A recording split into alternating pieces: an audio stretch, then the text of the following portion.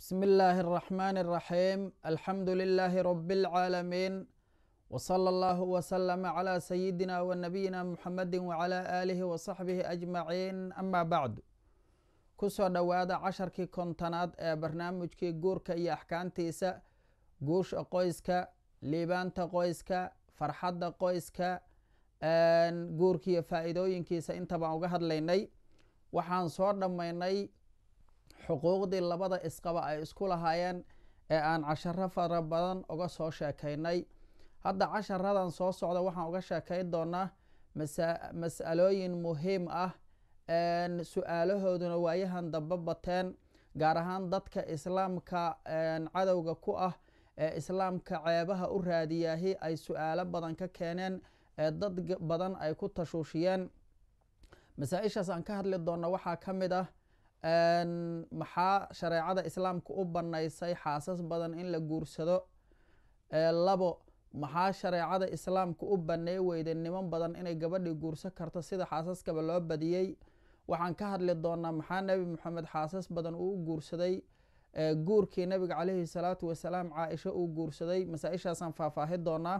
Waxaan sidoo kale ka hadli doonaa xaasaska badan dadka wax ka sheegay wixii ay sheegeen qaabka islaamka oo uga jawaabay.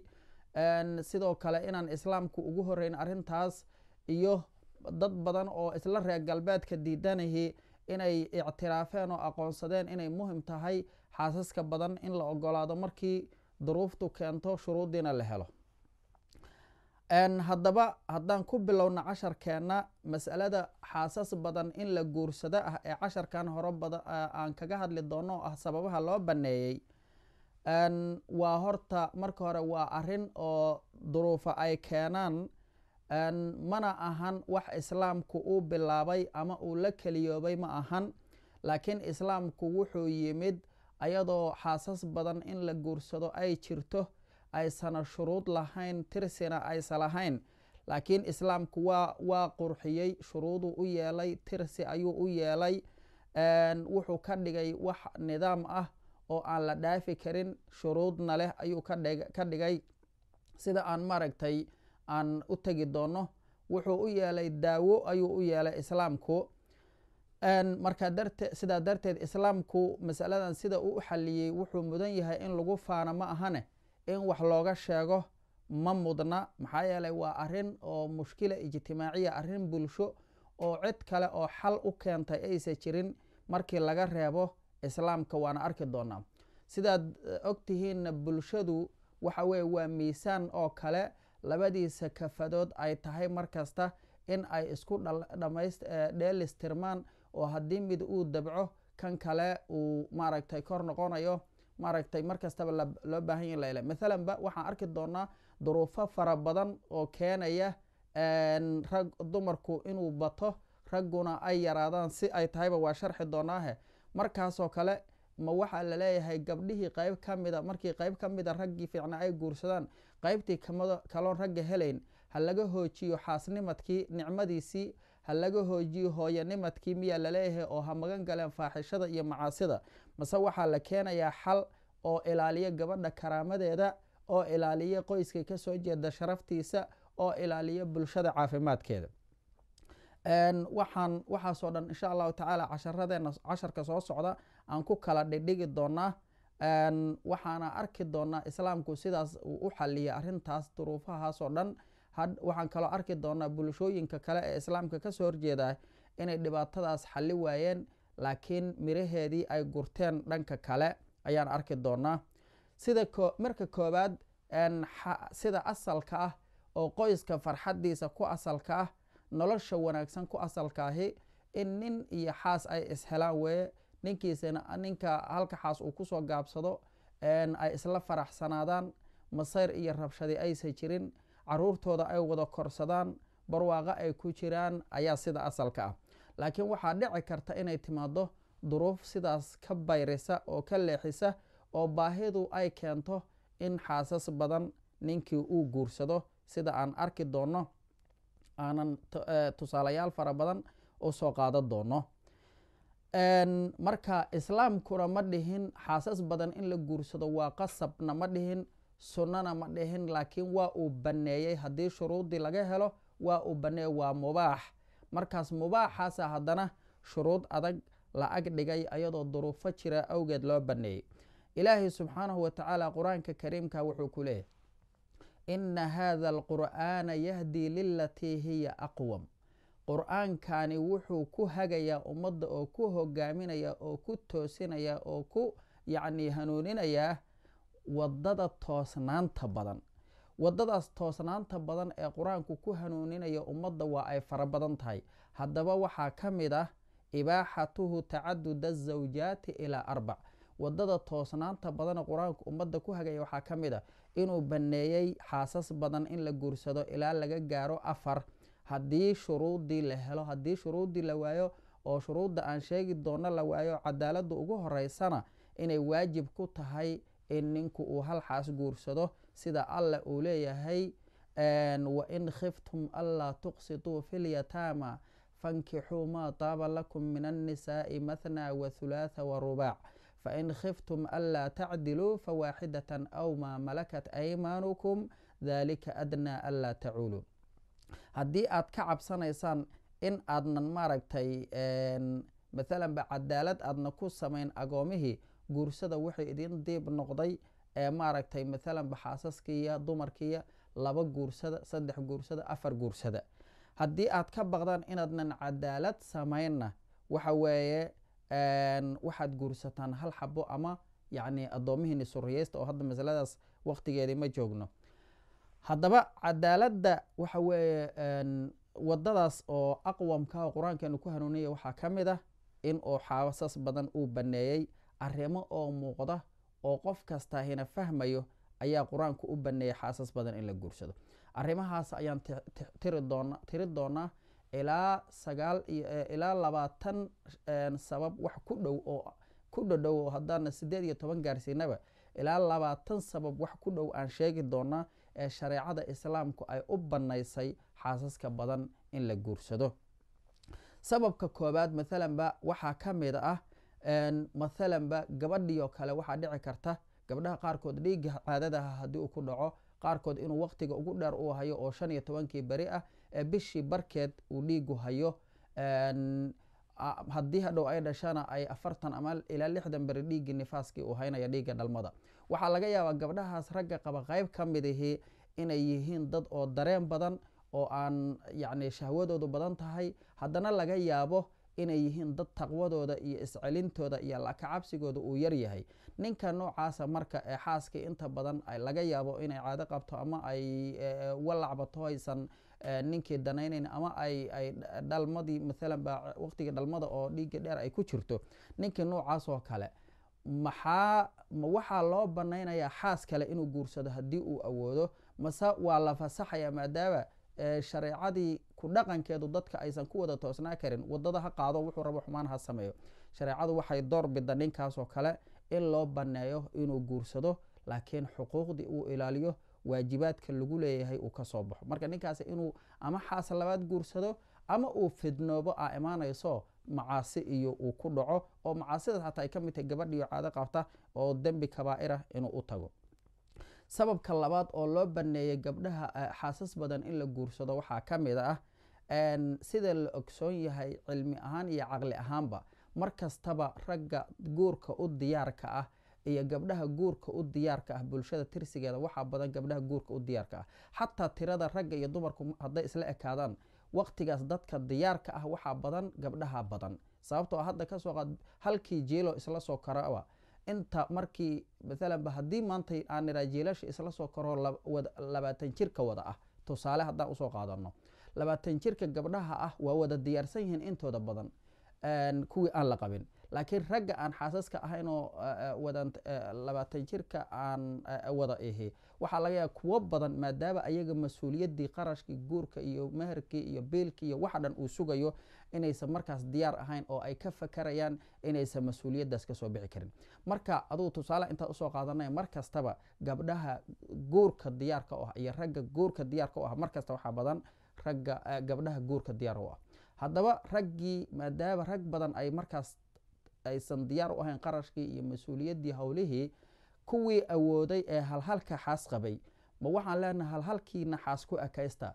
Xaasaski gabdhihii kaloo faraha badnaa ee diyaarka ahaa ee aan nimanka haysanna yaysan helin nin xalaala oo guursada. Miyaan leenahay maaragtay waddada ha cabeen. Maya shareecada islaamku waxay u jidaysay ninkaas mas'uuliyadda ka soo bixi karo xaaska haysta haddii uu awoodi karo inuu mid kale ku darsado inuu ku darsado si bulshadii ay u nabad gasho gabadhaas si ay u nabad gasho ayadii ay fidno uga nabad gasho karaamadeedii iyo sharafteeda loo ilaaliyo mas'uuliyadeedii loo qaado bulshadii laftigeeda si ay uga nabad gasho haddii oo guurkii yaraado waxaa faafaya macaasidii. Macaasida hadday faaftana cuduradiiyo badanaya iyo akhlaaqdiina waa ay lumaysaa. Marka bulshadiina si loo ilaaliyo waxaa la jideeyey in oo raggii awoodaahi ay markaas badsadaan xaasaska. Waxaa ka mid a oo sababka saddexaadho loo baneeyey xaasas badan in la guursado waxaa dhici karta ninkii gabar inuu guursado gabadhaasna laga yaabo inaysaba dhalaynba. Laga yaab hadday rabta iyaysa gaarin waa soo socota midii dhaaftay waqtiga dhalmada. Gabadhaas laga yaabo ayadoo yarba inaysa dhalaynba. Haddii marka gabadhii aysa dhalayn ninkiina uu rabo inuu ilmo helo waxaa laga yaabaa ninkii inuu xaas kale u baahan yaho ilmo u dhalo marka laba maadaama meesha taagan shareecada islaamku sida ay cadaaladda u samaysay ninkaama waxaa la leeyahay gabadhaas fur oo hal xaas kaliya kuu banaane taas fur mid kaloo ilmo kuu dhasho raadso. Mase waxaa la leeyahay xaaskaaga hayso xuquuqdeediina ka soo bax mid kale oo ilmo kuu dhashana raadso. Shareecada islaamku waxay leedahay taas hore ha dulmin xaqeeda si xuquuqdeeda si karaamadeeda ilaali sharafteeda ilaali tan kale oo ilmo haddaa rabtid kuu dhashana guurso oo ayana xuquuqdeeda si gaar ahaan haddii uu ninkii uu nin dhaqaalo badan haysta ama uu madax yahay badanaa inuusan uusa sugin ay u badanta arrintaas. Maxaa yeelay ninkii wuxuu jecel yahay inuu ilmihiisu ay ilmo fiican oo caqli badan u dhalo in hantidiisa iyo dhaqaalaha uu tabcayo hadhow ilmi ilmo uu uga tago oo ka dhaxlo uu helo ayuu ninkii rabaa. Marka waa qasab ninkii haddii uu xaaskii aysa ilmo u dhalin inuu raadiyo cid ilmo dhalaysa. Marka tii hore ka tag lama lehee tii hore karaamadeeda iyo sharafteeda ilaali xuquuqdeeda sii ayadoo dhammaystiran mid ilmo kuu dhashana guurso ah marka taasna marka waxay guurka gabadhan lala guursaday waxa uu ka fudud yahay in ayadii lafteeda la dulmiyo. Hadhow banaanka loo diro la yiraahdo ninkan xaas kale u baahan yahay adiga halagu furo qodobka afraad ee shareecada islaamku ay u banaysay guurka waxa weeye. Kasoo qaad gabadhii waaba weynaato waa dhaqmaadaysaba waaba weynaato waa dhaqmaadaysa ninkiina waxaa laga yaabaa bulshadu isku mid maahan. Nin ayaa mar kasta wuxuu jecel yahay ilmo inuu sii dhalo. Nina hal xaba jecel nina laba jecel nina saddex jecel nina afar jecel nina cadad aan qiyaas lahayn jecel. Haddii marka gabadhii ay weynaato gaarto waktigii aysa dhalayn ninkiina uu owlaad doonayo. Tii hore macnaha ayadoo yaraanba nir aysa dhalayn laga yaaba hadday gaarto waktiga ay dhalmada joojisay ninkiina uu owlaad doonahayo oo uu leeyahay owlaadan sii rabaa uuna awoodo duruufteeda oo qarashkeeda iyo noloshiisa uu haysto. Ma waxaa la leeyahay hal xaasaa lagu ogolyahay xabadkaagaas ag fadhi oo dareenkiisa asaga lala dagaalamaya. Mase waxaa la leeyahay hal xaasaa lagu ogolyahay tan fur haddaad ilmo rabtide mid ilma kuu dhasho raadsa maya lama dhihin asagana waxa waa loo daneeyey oo ilmo inuu raadsado ilaahay waa u baneeyey. Gabadhaasna karaamadeeda iyo sharafteeda la ilaalinaya ho ninkeedii inay haysato xuquuqdeedii ay hesho iyo waajibaadkeedii oo dhan ayaa la faray. Marka ninkii ka soo bixi kara waa loo ogolaaday qodobka shanaad ee loo ogolaaday ninkii xaasas badan inuu guursado waxa weeye. Raggii qeyb ayaa laga yaabaa ummadda ilaahay isku mid maahan. In uusan dareenkiisu uusan hal xaas aysan celi karin. Ayaa laga yaabaa oo u arka hal xaas inaysan ku filnayn gaar ahaan haddii ninkii dareenkiisa uu badan yahay. Gabadhiina ay dareenkeedu yaryahay oo sababo jira ha ahaato maalanba ayadooba nimanka dhibsata maxaa yeelay mar kastaba gabdhuhu uma wada guursadaan shahwo iyo dareen. Gabdhihii qayb ayaa waxay u guursadaan cid mas'uuliyadaada iyo qaado biilkaaga iyo mas'uuliyad mas'uulkaa noqota a heshid. Qayba waxay u guursataa aada wehel heshid. Qayba waxay u guursataa aa awlaad heshid. Qayba waxay u guursataa shahwadii iyo dareenka haya. Qayba wax kale laga yaaba inay u guursato. Marka haddii gabadhii maalanba ay tahay gabar oo ninka iyo ay ku culus tahay waxyaalahaas xagga dareenka oo aanba doonaynba inta badan ninkiina dareenkiisu uu badan yahay lagana yaabo raggii qaarkood inay taqwadoodii alla ka cabsigoodu yaryihiin ma waxaa la leeyahay ninkaas waddada ha qaado fisqi ha ku dhaco. Mase waxaa la leeyahay tanaad ku qasbanta ag fadhiyo diintii islaamka dhibsanaya. Mase waxaa la leeyahay gabadhan hayso oo ha kuu joogto xuquuqdeedana si iyo nafaqadeeda iyo biilkeeda iyo mas'uuliyaddeeda. Tii kale mid kale oo aad ku dhowrsatid ama laba haddii aad awoodid ama saddex haddaa awoodid guurso miyaa la leeyahay taasaa shareecadu fadishay in oo uu guursado oo uu yacni intii xaasas uu u baahan yahay ilaa afartii uu guursado si uusan macaasi ugu dhicin. Tii horena uusan u dulmin ayaduna aysan u dulmin oo ninkaas hadday ka soo bixi weyday yacni dareenkiisi ay oofi weyday in ay iyaduna aysan wax dulmin. Qodobka lixaad ee lagu baneeyey waxa weeye guurka loo baneeyey xaasaska badan. Shareecadana islaamku waxay ku boorisay ummadda oo ku dhiirigelisay ummadda islaamku inay badato. Badashadeedina waxay ku xiran tahay owlaad fara badan in la helo si islaamka awoodiisu u badato islaamku uu u bato islaamku uu u kor noqdo kelimadiisu ay u fusho cadowgu uu uga cabsado ummadaha maaragtay islaamka ka soo horjeedaan islaamka tiradiisa ay arkaan. Waana midda maanta islaamka ku batay waxa weye laga yaabo adduunka rubuciis inuu yahay. Wadamo fara badan gaalo fara badanna ay qireen. Islaamku waxa uu la batay guurka badan ay yihiin. Haddana ay ka cabsanayaan oo leeyihiin xilligaas iyo xilligaas wadamadaas islaana qabsanaya xataa wadamadii aan islaam ahayn dhalmadooda markii arkeen. Marka arintaasi waa muhiim weeye oo dad in oo waxa darteeda waxaa loo baneeyey in oo ninkii raggii dadkii awoodo qofkii awoodo cadaaladiina laga helaa beelka iyo nafaqadiina awoodo inuu xaasas fara badan guursado si ummadda uu u badiyo. Waxaana arintaas waxyaalaha muhiimka oo tusina ka mid a dadka reer galbeedka qaybo badan oo kuwooda caqliga leh ayaa waxay dareemino ummadahoodii u cabsanayaan oo tiradoodii hadda markasta la jahraya inay tiradoodii u cabsanayaan oo markay arkeen dhallinyaradoodii oo guurkii ka bayrtay oo waxa weeye markii guurkii badnaa iyo loo diiday dhallinyaradoodii oo guurkii maalanba ka joogsataba. Macnaha macnaha dhallinyaradii oo tirsigoodii oo yaraaday dhe tirsigoodii oo yaraaday markii xaasaskii badnaa loo diiday.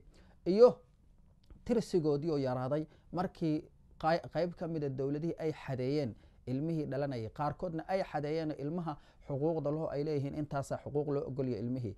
Qayb ka midana dhallinyaradoodii maadaama loo ogol yahay inay gaal fareen iyo samaystaan saaxiib iyo zinadii waxo dhan loo ogol yahay ayba guurkiiba iska naceen ayagoo maaragtay ka cararaya mas'uuliyadda iyo xuquuqda zawjadu ku leedahay iyo tarbiyada owlaadda iyo culayskaasoo dhan ka cararaya ee raadinaya kaliya naagay markaas shahwadooda ku guntaan markaas ayaa sida darteed reer galbeed badan ka qayliyaan arintaas dowladda dowladaha ka midana waxayba samaysteen alliance iyo midowyo si ay u noqdaan quwooyin fara badan oo iskaashada. Meesha islaamku asagu farihii uu ka bato haddii ilaahay taladiisii towfiiqdii soo celiyo uusan dowlado kale u baahnayna tiradii asagu uu ka batay.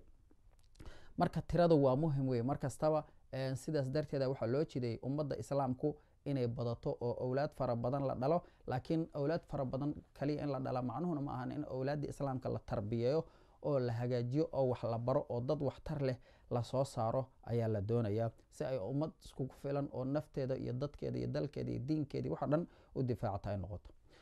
Qodobka toddobaad ee xaasaska badan loo baneeyey waxa weeye tirakoobka tirakoobyada la sameeyey waxa ay tusiyeen. Wadamo fara badan ee waddamada reer galbeedka ka mida waxay tusiyeen xaasaskii badnaa diidmadii la diiday miraha ka dhashay inay noqdeen in la helay owlaad fara badan ee aan aabba lahayn ee si sharci daraa ku dhashay. Maxaa yeeley ninkii xaasaska lahaa afar xaas haduu lahaa iyo saddex xaas haduu lahaa asaga waa u wada tegaya ilmo xalaalo ka dhalaya. Laakiin gaaladii waxa weeye hal xaas markii uu haysto xaaskaasna laga yaabo duruufihii aan soo sheegnay iyo kuwa aan sheegi doona inay ku qumaan. Ninkii waxa weye naga kalu raadinaya ama gaal fareenuu samaysanaya gabaruu saaxiib la yahay ama miduu habeenkaas la tuntuu raadinaya markaas ayaa waxaa meeshaas ka dhashay ilmo fara badan oo aan waalid lahayn oo aan maaragtay wax xuquuqdooda u istaaga aan lahayn.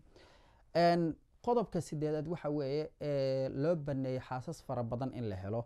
Waxaa ka dhashay dowladaha diiday xaasaska faraha badan ama xaasaska badan diiday natiijooyinka ay arkeen oo la xaqiijiyay waxaa ka mid a in cudurro fara badan faafeen maxaa yeeley ninkii markii halkii xaas uu ku gaabsan waayey sababaha aan soo sheegnay iyo kuwa aan sheegi doonana uu ugu gaabsan waayo oo xaaskii laga yaabo duruufo badan inay markaas ku samaysan tahay ayadiio xanuunsan ama ayadiio dhiiggii qabta ama ayadiio oo xaamilo ninka rabin ama ayadiio dhiiggii dhalmada xilliga dhalmada ku jirta ama iyadoo duruufo kalaba haystaanba ayay waxay aadeen naagihii kale oo ay sharci dare ku aadeen ama saaxiiba la noqdeen ama habeenkaas isku tageen cuduradiia faafay. Cudurada dilaaga ah ee waxa weye ku faafaya nimankii ee ku faafaya dumarkii ee ku faafaya ilmihii ee ku faafaya bulshadii cuduradaas ayaa ku faafay oo daawooyinkooda dhaqaatiirtii ay ka caajiseen sida aidiskiyo sidaa darteeda dowladihii qayb ka mida waxay soo jeediyeen qaarkood in la sameeyo qaanuuno lagu qasbayo labada isguursanaysa in la baaro marka hore si loo hubiyo in aysan cudur qabin. Cudur labadooda u kala gudbi kara ama cuduro caruurtaba u gudbi kara ama maskaxdooda carruurta wax daciifi kara dadnimadkooda daciifi kara disable ka dhigi kara. Waxyaalahaasoo dhan inay qabaan iyo in kale in la baaro maadaama fuxshigii iyo macaasidii iyo dembigii wixii ay ku bateen sababka sagaalaad ee loo ogolaaday xaasas badan in la guursado diinta islaamka u badnaysa waxa weeye. Waxaa dhici karta gabadhii inay xanuunsato xanuun weliba daba dheeraada inuu xanuunsado. Xanuunkaasoo gaarsiinaya inaysan ninkii yacni xuquuqdiisa aysan ka soo bixi karin oo ay xaggii gooshii ay tabarteeda ku yaraato.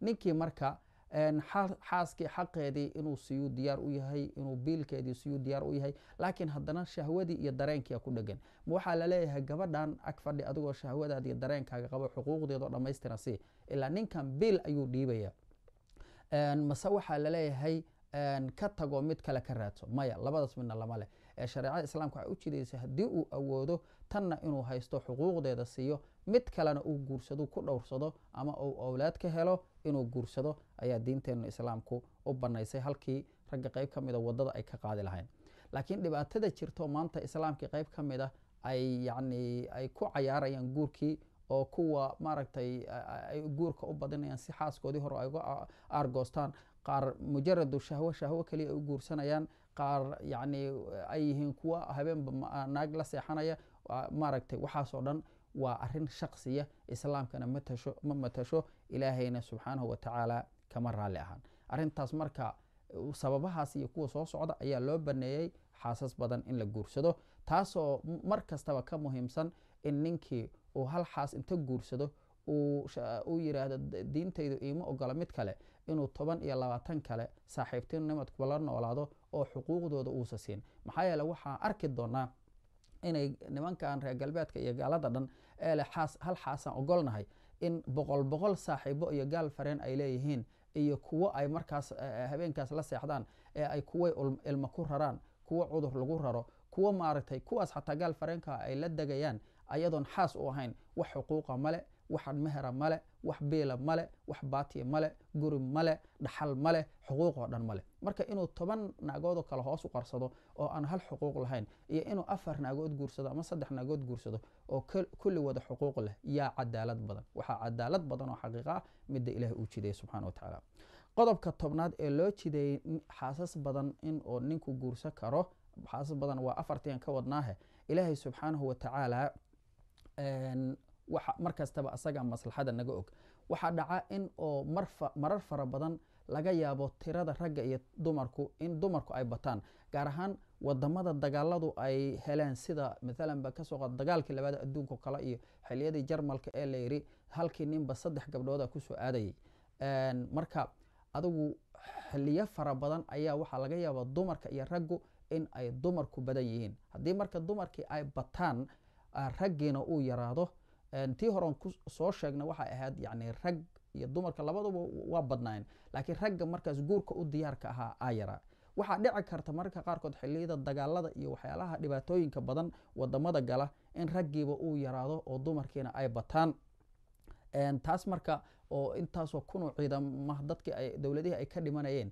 Raggaas marka uu bato dumar fara badana garooboobay oo laga dhintay kuwa agoomoobay kuwa yacni dumar fara badana wixii xuquuqdooda u taagnaayoo dhan ay le-deen marka dumarkaasi waxay u baahan yihiin dad mas'uuliyadooda u quban. Raggii marka joogay hadday xaasas leeyihiin diinta islaamka waxay jidaysay inay xaasas kaleo dheeraada ku darsadaan oo dumarkaas kale ay xuquuqdooda u qumaan oo ay xuquuqdooda siiyaan si loo loo ilaaliyo macaasida looga ilaaliyo sharafteeda loo ilaaliyo bulshadii cuduradii zinadii macaasideedii looga ilaaliyo cudurrada faafa looga ilaaliyo. Ayaa loo jeedaya haddii raggu yaraado in raggii joogay hadday xuquuqdii ka soo bixi karaan inay xaasas badan guursadaan. Qodobka kooyo tanaad waxa weye xaasaska badan oo la guursadaa wuxuu caawinayaa gabdho fara badan ayuu wuxuu ka caawinayaa inay helaan cid kafaalo qaado mas'uuliyadoodii u qumta cid maaragtay biisha ragga fiican maaragtay waajibaad ka soo baxaya ahay. Hadda ninkii inta afar xaas guursaday afartiiba mid kasta meel dejiyay biilkeeda iyo baatigeeda nolosheeda siiyey gabdho fara badan ayuu mas'uuliyadooda ka soo baxay marka taas waxay keenaysaa gabdhahaasi inay badbaadaan oo macaasi ka badbaadaan inay faraxsan yihiin owlaadooda haystaan. Gabadhii marka meel cidlaa taagnaa laheeda nin naaka la qabta heshay waa ka fiican tahay inay meel cidlaa taagnaato wax xuquuqdeeda aysa helin. Qodobka labiyo tobnaad ee loo baneeyey rag rag nimo gabdhihii nimankii inay afar xaas iyo wixii lamida guursadaan ama ku dhadhow waxa weeye shareecada islaamku waxay xarintay zinadii. Xarimitaan cad ee qofkii zina ku dhacaahi uu cuquubo weyn leeyahay iyo ganaax weyn iyo ciqaab uu leeyahay ayaa shareecada islaamku xarimtay. Marka maadaama la xarimay zinadii waxaa la furay albaabadii kale ee ninkii gabdho badan raba ee awooda xuquuqdoodiina awooda. Inuu gabdhihii uu rabu damcay inuu guursado xuquuqdoodana siiyo loo jideeyay si oo ay looga nabad fisqi iyo macaasi. Qodobka saddexiyo tobnaad waxa weeye ee loo jideeyey guurka xaasas badan waxaa looga fogaanayaa furitaankii furitaankii ayaa looga fogaanayaa maxaa yeeley gabadhu markii haddii gabar gabdhaha ka mid a ninkii uu qabo ayna xuquuqdii iyo waajibaadkii ku cuslaato duruufo jira awgeed. Taas intii la furi lahaa waxaa fudud in ninkii gabar kale uu soo guursado tii horena karaamadeeda uu dhowro sharafteeda uu dhowro mid kaloo cusubna uu guursado isaga waajibaadkiisii u istaagta.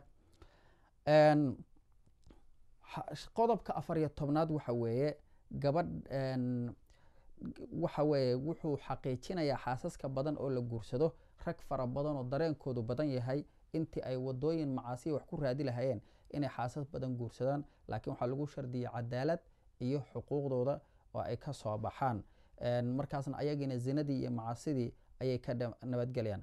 Qodobka shan iyo tobnaad waxa weeye shareecada islaamku xaasas badan waa banaysay laakiin shardiga waxay ku xirta ah cadaalad oo waxa weye lama banayn cadaalad la'aan in aad xaasas badan guursatid taas lama banayn qodobka lix iyo tobnaad waxa weeye haddii gabadhii maalanba ay weydo gabadhii maalan ka soo qaad gabar ayaa nin qabaa gabadhaasi waxyaalihii ninka ay ku soo jiida laheeda weyday oo ninkii qalbigiisa aan ku faraxsanayn laga yaabo maalan ba ha ahaato xagga quruxdii ha ahaato akhlaaqdii ha ahaato dhaqan wanaagii ha ahaato dabeecadii fiicneed wixii ninkeeda ay ku soo jiida laheed haddii ay weyday ninkiina uu helaya gabdho kaloo badanoo naftiisu ay ku faraxsan tahay.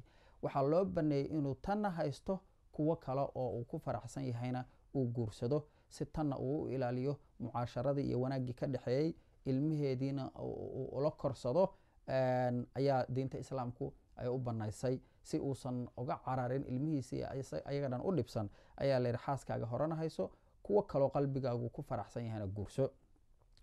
Qodobka toddobiyo tobnaad waxa weeye guurka oo xaasas badan la guursadaa wuxuu fursad ama jaani siinayaa gabdho fara badan oo waaweynaaday oo laga yaabo inaysan niman helin.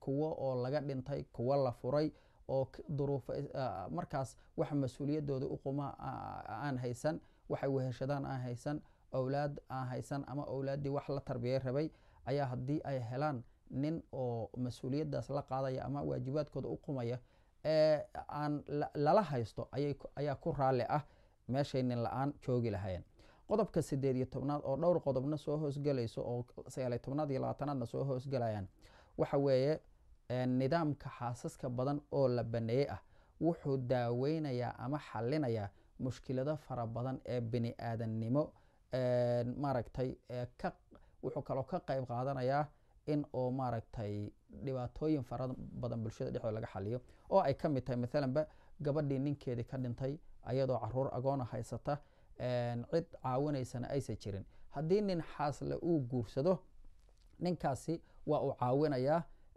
laba maadaa helaya ayadiiu caawinaya oo dhowrsanaanaysa sharafteediia dhowrsanaanaysa waxay guri ay ku xasisho idminaanka ay ku heshay helaysaa biilkeediiyo mas'uuliyaddeeda cid uqumtay helaysaa dhanka kalena waxay helaysaa cid la kafaalo qaada ilmihii agoonta ahaa ee la tarbiyeysa.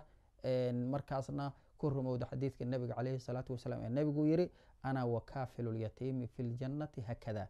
Aniga iyo qofka agoonta kafaalo qaada jannada sidaasaan nahay nebigu farihiisa inta tilmaamay. Marka waxaa kaloo ka mida guurka xaasaska badan la guursado waxyaalaha uu xalinayo haddii haweeneydii ay maalanba qodobkan horena u soo sheegnay haweeney oo maalanba ama markaas quruxdeeda yar tahay ama wax lagu jeclaado aysan jirin ama maaragtay cilad haysato ama cudur haysato ee aan nin haysan ayadu. Haddii ay hesho nin la guursana nin xaasle ee ayadana ku darsanaya ama maaragtay ayadaa ninku qabaahe ninkii meelo kale hadduu u anqal taago meeshu ayada furi lahaa inuu xaasas kale soo guursado. Waxa weeye ayada inuu xaasas soo guursada uga fiican maxaa yeelay qofka muuminada in qalbigeeda la jabiyo leera ayada fura kuwo kale ka raadso waxaa ka fiican in oo la farax geliyo. Waxaa ka mid a sababaha uu xalinaya guurka xaasas fara badan la guursadaahe maalanba gabar duruufo mucayana ah u joogtay muddo dhan nin la'aan ilaa ay gaarto sinulyasi waqti aysan wax dhalayn. Guurna rabta. Gabar waqti aan aysan wax dhalayn gaartay guurna rabta. In ay marka hadday guursato nin xaas kale oo wax dhalaysa haysata. Inay guursato. Iyo inay nin la'aanba noqoto nin kasta yiraahdo anugu haddaan kaligaa ku guursado kaligaan kugu ekaanaya waxaa uga fiican inay guursato nin xaas kala haysta oo ilmo u dhalaysa ayadana markaas ay hesho wehel iyo cid mas'uuliyaddeeda qaata.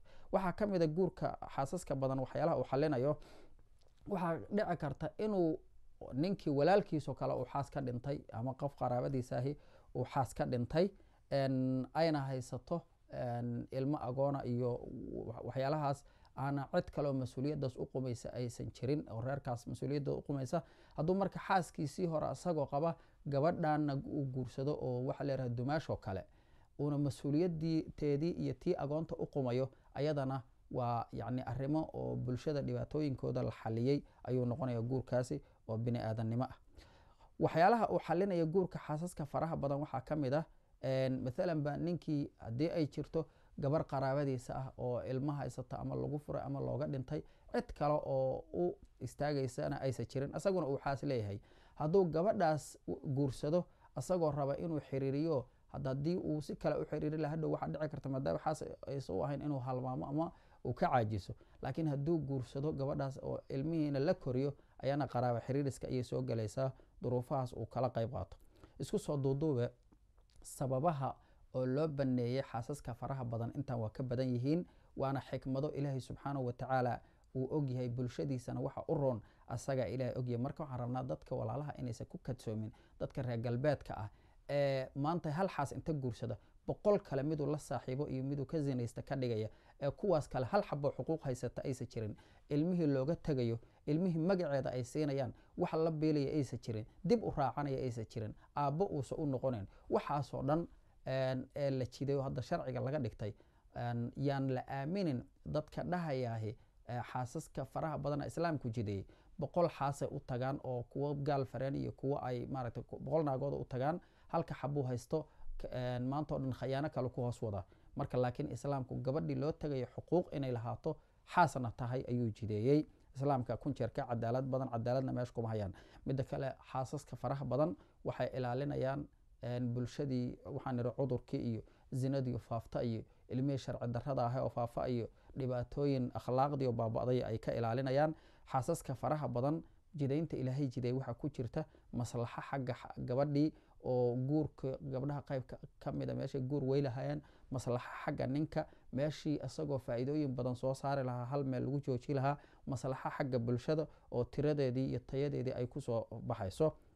Marka shareecooyinkii horena kuma soo aroorin zawjooyinka oo la xadeeyo oo la yidhaahdo intaanay ku egyihiin gaar ahaan daliil cad kama soo aroorin nabiyullahi ciise ee xarimayoo leh hal xaasaa la ogolyahy marka islaamka kaliya wey waxa si saxa waxa u xadeeyey shuruud adagna daba dhigay cadaaladna ku shardiyey si nidaamka qoyska uusan u baabi'in si fidna aysan u dhicin si maaragtay xaasaskii aysan nimankooda u caasin si ilmihii aysan aabbayaashooda u caasin markay cadaalad darro arkaan ilaahay subxaanahu watacaalana waa ogyahay xigmadda. Nabigeenana wuxuu noo sheegay calayhi salaatu wasalaam aakhiru zamaanka inay dumarku badan doonaan xadiidkii bukhaariga ahaa oo nebigu wuxuu yihi calayhi salaatu wasalaam min ashraati asaacati an yaqila alcilmu wayadhara aljahlu wayadhara aljahlu wayadhara azina watakthura annisa wayaqila alrijaal xataa yakuuna likhamsiina mra'a alqayim alwaaxid.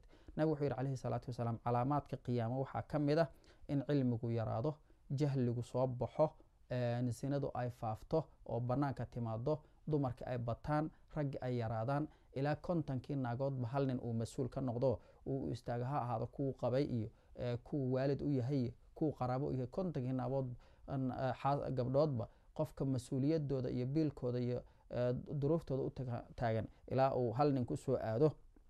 Marka waqtigaas ilaaha og laakiin ilaahay subxaana watacaala xariga kama firuna cadaalad iyo uu ku shardiyey. Waana muxaadaro dhana uga hadli doonaa cadaaladda muhiimkeeda. Waxaan kaloo ka hadli doonaa shuruudda loo shardiyey markii xaasaska badan la baneeyey. Waxaan ka hadli doonaa waxyaalaha dhibaatooyinka ka dhalanaya dadka xaasaska badan diiday.